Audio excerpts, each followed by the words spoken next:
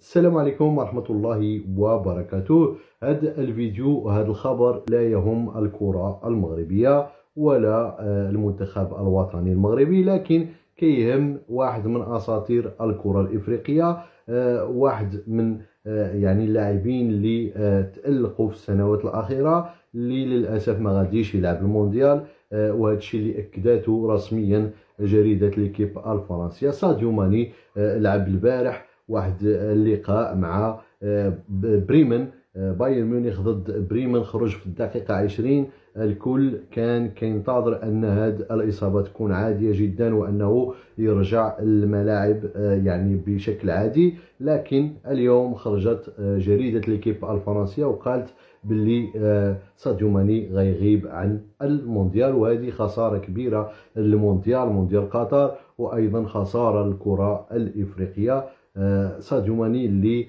آه، كان غيلعب أول لقاء ليه مع السنغال.